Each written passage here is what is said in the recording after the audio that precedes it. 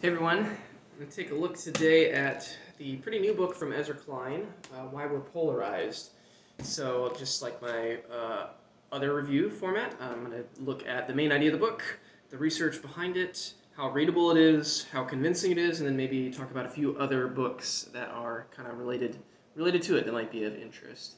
Uh, but Ezra Klein, in case you don't know who he is, he's a fairly well-known uh, journalist, media personality. He has a uh, really successful podcast called The Ezra Klein Show, and he's probably the most known for being one of the founders of Vox, the Vox Media Group.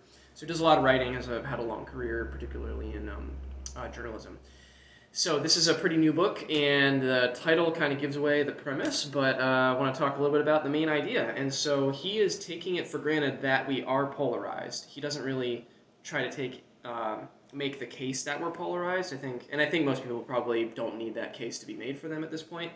Um, I'm recording this uh, in September of 2020, right before the election of 2020. So um, it's not hard to to look around and see the polarization right in our climate. So he's starting with that premise that is already kind of a given, and then trying to dig into why, to the um, the factors that have contributed to the polarization we find ourselves in.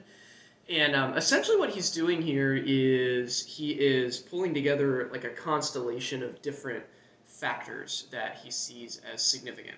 So some of these include some historical shifts, uh, particularly in politics. Um, there's also the media and social media in particular has a role to play. Uh, he also talks about psychology, um, in-group, out-group kind of psychological dynamics, um, and he talks about some some actual like structure and policy issues that have shifted. Um, but his historical work is pretty pretty limited to maybe the 50s, mid 50s to the 60s um, until today. So about 60, 70 years, something like that.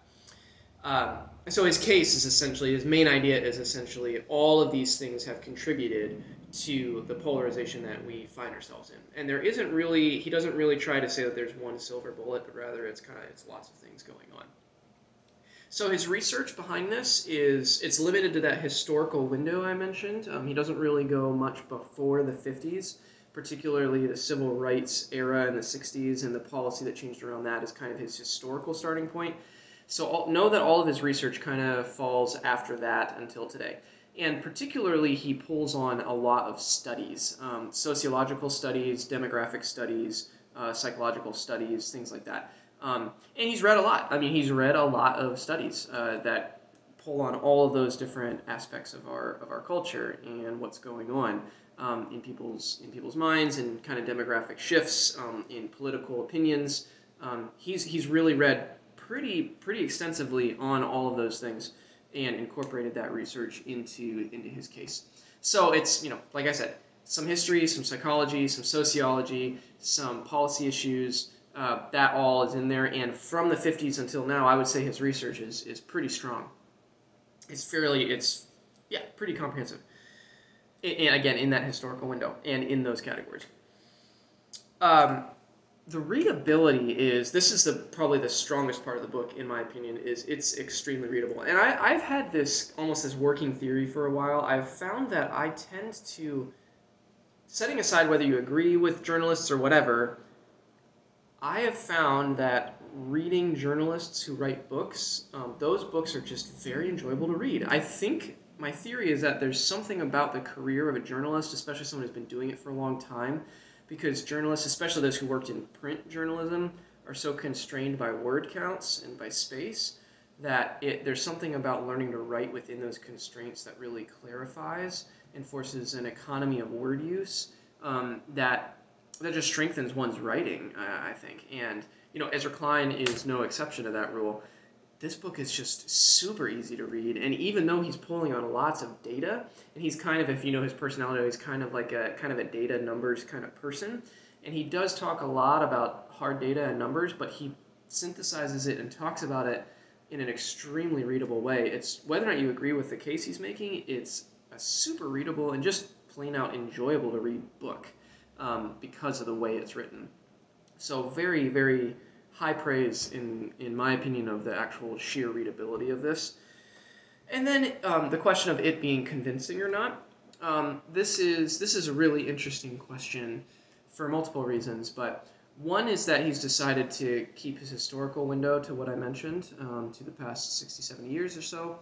And um, some people might think that deeper work needs to be done to make an historical case for our polarization. So if you kind of, but if you kind of take his premise and take him at his premise that something has shifted from the 50s to now, um, especially in the political scene. He, he surveys kind of the, the uh, political parties in the 50s and how they were structured and how it looked and how it wasn't a big deal to be a member of one party and vote for candidates in another party, particularly in local elections. Like he didn't have this, you know, down the line, uh, party line voting like we do today. Like he, he kind of presents a, the case for all for how that looked then and then why has it changed now and i think he's he's really on to something in terms of all the factors that have contributed to that shift that it has changed. Um, in particular, I think there's a few areas that he does really good work on, and one is the the sections are, where he talks about race. I, I think those are one of the areas that I've found the most convincing, and probably I was already, to be honest, already in kind of in agreement with him on that. That I think race, and particularly how racial um, politics around race and identity politics and uh, policy around things like segregation and desegregation, like the shifting of all of that stuff, which is significant, particularly in the 60s with the Voting, Voting Rights Act and whatnot. Those changes and the kind of racial dynamics around all of that are a big factor, and his work on that I think is very good. Also, his reporting and work on the, the in-group, out-group psychology is very convincing to me. I found um, found myself thinking about things in a new way uh, after reading those sections and um, just thought it was really well argued. So um, I think that he's. I, I, would I would be one who would say there is probably deeper stuff going on historically, and actually there are other historical windows in which we were as polarized or more, like in the Civil War or things like that. I, I think there are deeper historical things that he doesn't get into that. You know, it's kind of hard to fault him for not doing that because that's again not not the case he's trying to make per se. But in terms of the broader question of polarization, there are other things that one could look at. But for the case he's making, the particular factors he's pulling out, I think he pr- presents a pretty compelling case that at least things like psychology, um, uh, sh- shifting political landscape, shifting demographic and racial landscape, um, and our history, like at, at minimum, at least those things are coming together. Not to mention social media on top of that, um, and exacerbating a lot of these things. Uh, those things are com- coming together to, to polarize us, to pull us apart and um, I think I think he has he's pulling on a lot of the right threads.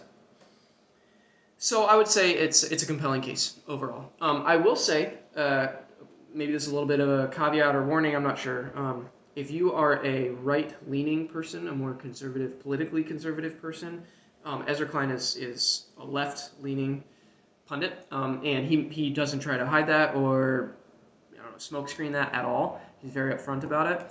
Um, and I would say he does a relatively good job for most of the book at being pretty even handed um, in terms of what both left and right are doing to exacerbate all these issues.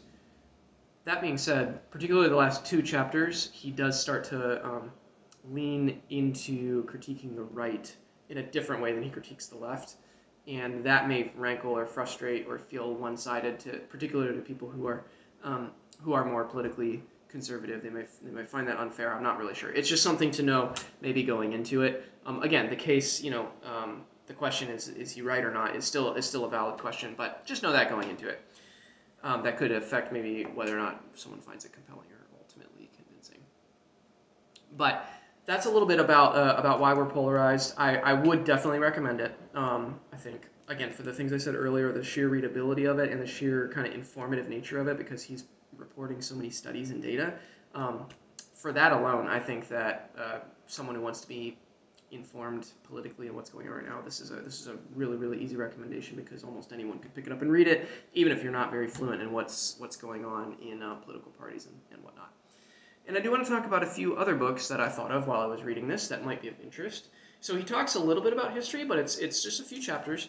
If you want to get more uh, do a deeper dive on the history, the historical content, particularly over the same time period he's speaking of, then I would definitely recommend. I don't have a copy to, to put in front of the video here, unfortunately, because I read it from the library, but there's a book called Fault Lines, which is by two historians named Kevin Kruse and Julian Zelizer, and it's a it's a very good book. and it's particularly they start with I think the year 1974 is the actual starting date of their of their survey. So it's a little later than his, but it's basically the same era essentially. And fault lines refers to what are the political and cultural fault lines that were drawn over these over, over these decades, and uh, what are just the historical events and uh, things that have contributed to those fault lines getting more and more solidified. So that's a that's a very good book. That's pretty much just the history. It doesn't do as much of this commentary that um, that Klein offers here. So I'd recommend that. Um, and then just two more. Uh, one is if the psychology is of interest to you, then um, you have to check out, if you haven't yet, Jonathan Haidt, The Righteous Mind. This book is, in my opinion, and I, and I think a lot of people's opinion, it's kind of the gold standard in, um, of, of this area of moral psychology and moral reasoning. And you can see the subtitle there is Why Good People Are Divided by Politics and Religion. So it gets into the polarization con- conversation as well, but it's all psychology.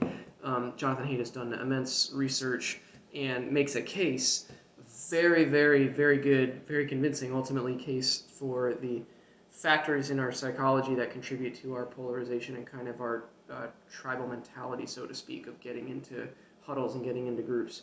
And um, it's just it's excellent. It's a little denser. It's a little more technical than Klein's writing for sure, but but if you if you want to learn about that, this is the best book in my opinion to go to. And Jonathan Haidt is it's telling too. Jonathan Haidt endorsed Klein's book um, because uh, some of the natural overlap there. So I thought that was a good sign when I saw Jonathan Haidt's endorsement here. Um, so The Righteous Mind, I really highly recommend it. And then the last one, this might particularly be of interest to Christian readers, um, although I would still easily recommend this to really anyone who wants to do some deep thinking on this, particularly in our cultural moment. But this is Confident Pluralism by John Inazu. It's not very long. It's a fairly short book, but it is highly technical. It's probably the most technical, even more so than The Righteous Mind. But John Inazu is a, a law scholar, and um, he uh, makes the case, particularly through dissecting Supreme Court decisions and some history there. Um, he makes a he makes a case for the legal import of protecting a diversity of thought, actually, and um, so and he also the subtitle is surviving and thriving through deep difference so it's also kind of a personally encouraging book um, if you're someone who is struggling to know how to not only just to make sense of our culture but even how does how does one hold to convictions in a confident way um, knowing that those convictions are um, going to be challenging to some others and other people will have convictions that are challenging to you in an intentionally kind of pluralistic setting so John Inazu's book uh, is very good. There's a paperback edition of it out now, which is a bit cheaper um, if you don't want to get the hard, the hardback copy. Um, so yeah, those are three books: uh, Fault Lines, Righteous Mind, and Confident Pluralism. In addition to Ezra Klein's uh, good work here in Why We're Polarized, that I would recommend. So hope you found this helpful, and I'll see you for my next review.